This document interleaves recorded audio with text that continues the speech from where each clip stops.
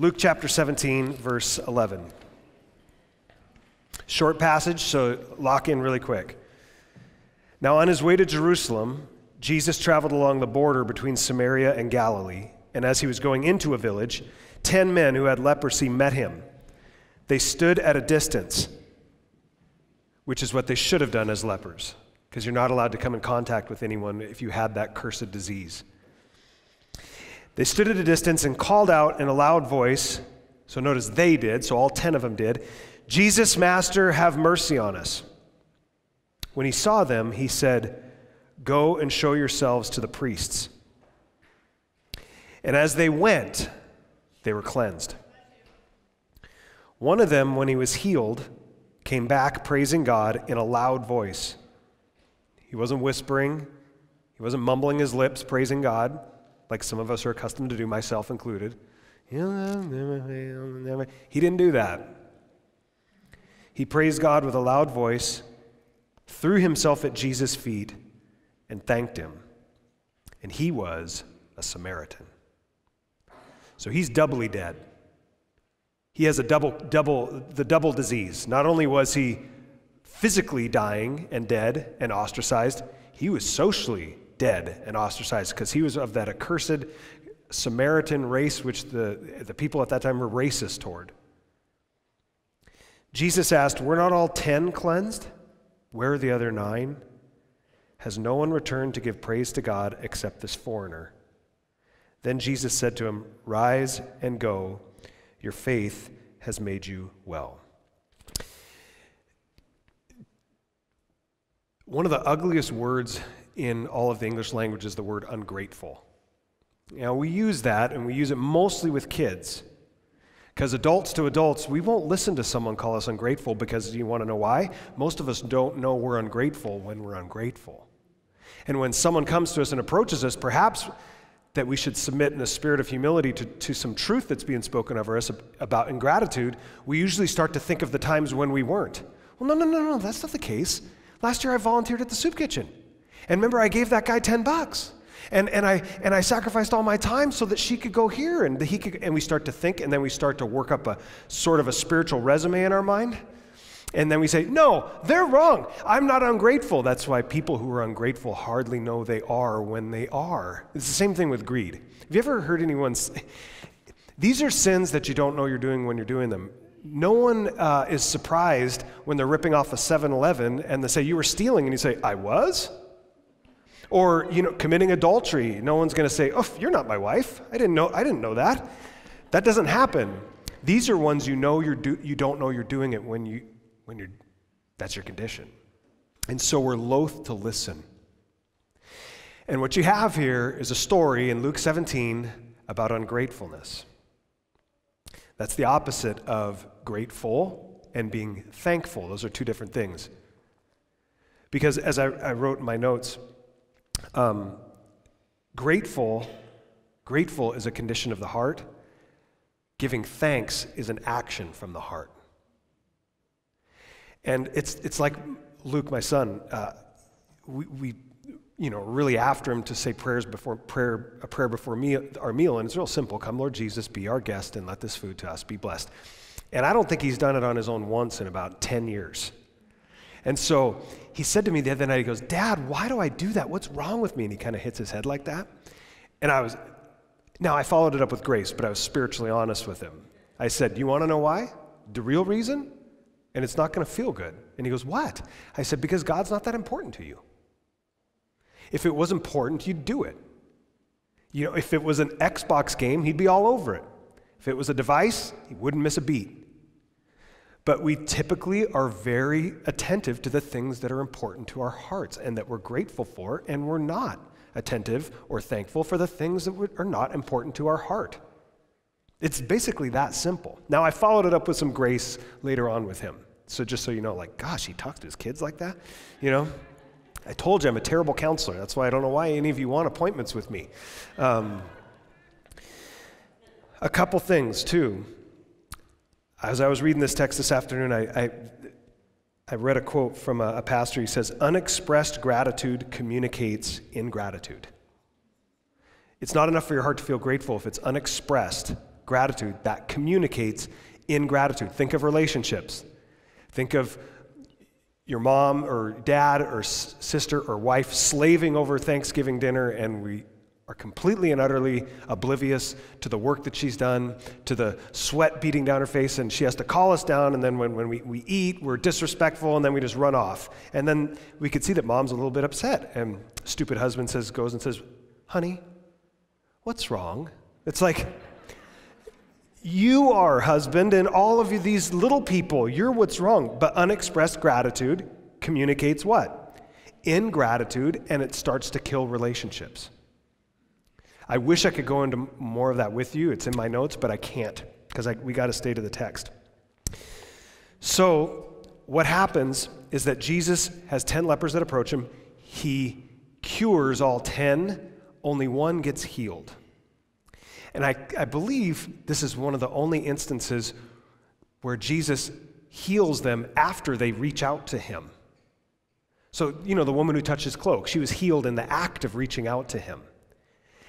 These guys are healed after he says, Go and show yourselves to the priest, which would prove them to be ritualistically clean and they could go back into society. And it says, But on their way, they were made clean. And only one out of the ten comes back. Now, why is that? I think it's our spiritual sickness to know that when we are saved, we forget the fact that we needed to be saved to begin with. That when we're saved, we think, oh, life gets to go back to normal. Look at, I'm back into society now. You're one of these lepers. Life goes back to normal. I could start taking my vitamins again. I could start going to church again. I'm going to start exercising. Life goes back to normal. And there's an Ethiopian proverb that, that says, A man that is well forgets about God. Because now I'm back on track. Suffering was an interruption to my plans. Now I'm not suffering anymore. I'm not diseased. I don't have that obstruction. Now I could kind of kick God to the curb, and I'm back on track with my plans. That's my guess with what the nine thought. Because it's, you have a life threatening illness and a socially ostracizing illness, and you don't stop and say, let us go back and thank him. Why? Because there's a, sen- there's a, there's a spirit of ingratitude that's working in those hearts. And they probably didn't even know they were ungrateful. And only one turns around. And like I said earlier, he was doubly bad in the society's eyes. He was a Samaritan. And notice what he does. And I want you to watch, pay attention because we're going to pay attention because we're taking a turn here. And you got to pay attention in the turns or you'll fall out of the truck. So here's what happens he goes back and he does a couple things, and I want you to pay close attention. He falls at Jesus' feet. You don't fall at the feet of another man.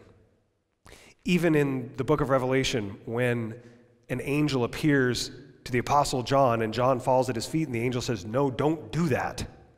You only do that for God. And you know what's amazing? This man falls at Jesus' feet, and what does Jesus not do? He doesn't say, Don't do that. In other words, what is this man caught onto first and foremost? That his cure was not by the hand of just a magician or just some faith healer that there was something that goes, that goes way deeper into the heart of who this man is that, he, that didn't just cure him, that healed him. What do you mean by the distinction between curing and healing? It says he fell at his feet and he thanked him. And I looked at the Greek and it meant, it, the, the phrasing in the original language meant it's a, it's a repetition of thanks. It's not just, hey, thanks. It's not that. It, it says he fell at his feet. It's literally he collapsed in worship and was saying, Thank you, thank you, thank you, thank you, thank you, thank you. Does your heart do that with Jesus Christ? Because we're all leprous. We all have the disease of sin. We're all broken in relationship to God. Our hearts are all cattywampus in relationship to Him. And what does He do? He comes and He brings us wholeness and pureness. And all His promises are yes and amen. And this crushed spirit He makes whole again. And then do we just go back to everyday life? This text is so important because guess what we're going to do? We're going to hear a word like tonight, and you're going to go back tomorrow into what? Everyday life. Are you going to be the nine or are you going to be the returner? Are you a returner or are you the other nine? That's why this text is biting. And if you're not getting bit, probably means your heart isn't open to what God wants to speak to it, which is a serious spiritual sickness. because this is biting me. And Jesus says in response to his worship and his thanks, he says, he says three things, three questions. Were not all ten cleansed? And you can almost hear the sadness in his voice. Where are the other nine? That was his second question. Where did they go? Why aren't they here? Where are the other nine? Is the only one, third question, that's returned to give thanks to God is this foreigner? And then do you know what Jesus says to him? Rise and go. Your faith has made you well. The actual translation, you could, inter- you could translate it this way Rise and go, your faith, because it's made you well, thanks, yeah, your faith healed the leprosy. That's not what Jesus is saying. He's saying, Rise and go. You could translate that Greek word sozo, which translates as well. Rise and go, your faith has healed you. You weren't just cured, you were healed. Ten guys went to Jesus for a cure, one got healed. And as I said every time I preach on this text, wouldn't it be a crying, stinking shame to meet Jesus Christ and to have his touch upon my heart and to come away only with physical wellness? What a crying shame. Because those other nine guys, their bodies were all going to go to at some point. But this guy, this guy was different. And so the question is are you one of the nine or are you a returner? And the difference between the two is only eternity. That's the only difference, real minor. Guys, be a returner. Jesus Christ is asking you, you were in church, you were praising me. I touched your heart. I felt the response. You know, I wanted to reach out and touch, touch you, and you just went home. you you, you settled for the cure. You settled for the thing that's transient. You settled for the thing that's temporary. Be the returner. And you know what else? That guy, that Samaritan leper who was cured, cured and healed, came back, and guess, we're, guess who we're still talking about 2,000 years later as a model for faith? A Samaritan leper, the bottom of the bottom. The only way he could have got any lower is if, if his, in that culture is if he was a woman. And by the way, Jesus had plenty of those around him too. Isn't that funny? The people at the bottom are far more open than people that are upper middle class to see that they need light and they need joy and they need His peace. If there's going to be any way out, if there's any liberation, it's going to have to come from outside of me. Isn't that interesting? It's how I like the joke. The people that get the gospel message about Jesus Christ saving us, we can't save ourselves. In my experience, through pastoring and counseling and in the military, guess who gets it the quickest? The addicts do. They understand, boom, right now, I can't save myself. It has to be some other power. And when that power comes and touches their heart, they get it. But don't you realize? Sin, we're all addicts. we're all addicts. We're all addicts to selfish ambition and selfish desire. I wanted to share um, a prayer with you and close. And then we're going to take communion, and um, we'll have a benediction at the end. And We'll send you on your way, I hope, as a returner. And um,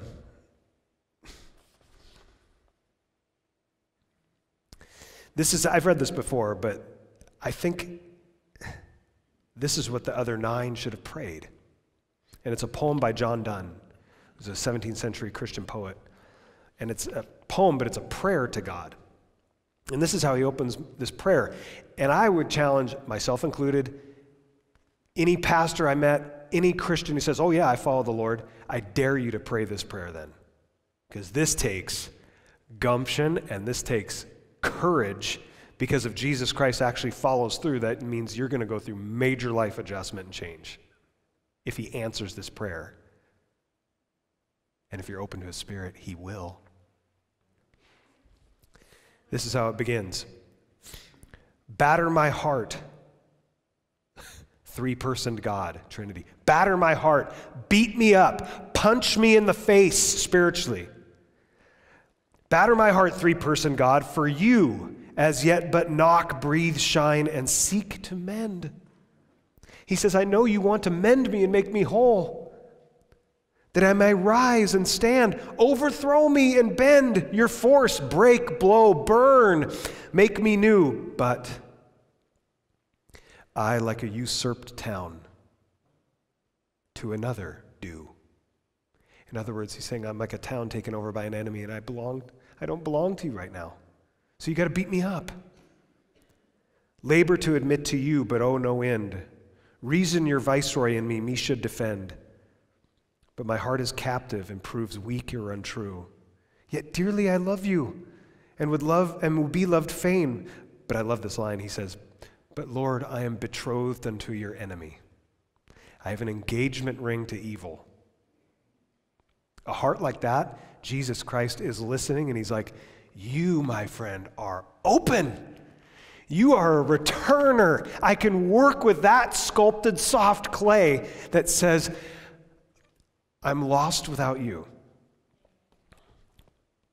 So he says, I'm betrothed to your enemy. His next line, so divorce me.